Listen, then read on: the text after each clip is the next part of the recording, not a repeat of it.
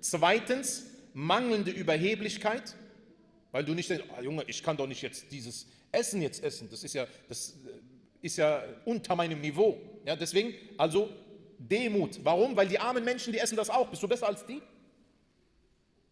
Wir sehen doch die Menschen, die in Notlage sind, was die alles essen. Ja, soll das heißen, du sollst jetzt immer schmutziges, du sollst ja den Schmutz wegmachen. Ja, aber da sind doch bestimmt 5000 Bakterien und Viren und wenn, du, wenn ich dieses Mikroskop sehen würde, dann. Allah sagt dir, er wird dich beschützen und du sagst mir, da sind 5000 Viren. Und wenn da das Schlimmste wäre, was es überhaupt gibt, mach es sauber, so gut du kannst und iss es. Natürlich, wenn das in eine Pfütze voller Gift gefallen ist, sagt kein Mensch immer zu, pust mal drauf und, äh, und, und, und, und iss es. Also wir wollen es jetzt auch nicht übertreiben. Ja?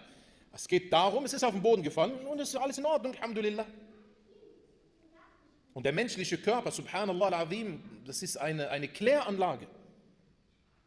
Eine, eine, eine ganze Stadt, also ein, ein, ein ganzer Betrieb hast du in deinem Körper. Reinigt ständig, ja, das hatten wir schon erwähnt, ja, ob es die Leber ist, ob es die Nieren sind und so weiter und so fort, dein, deine Antikörper.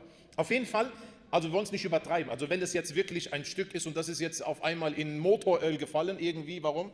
Ja, ist klar, also da, was willst du da sauber machen jetzt? Ja? Aber es geht darum, es ist hingefallen, Alhamdulillah, da ist jetzt kein Dreck.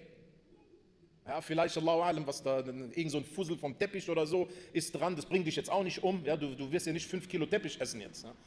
Dann machst du diesen Fussel einfach weg und Bismillah und isst es einfach.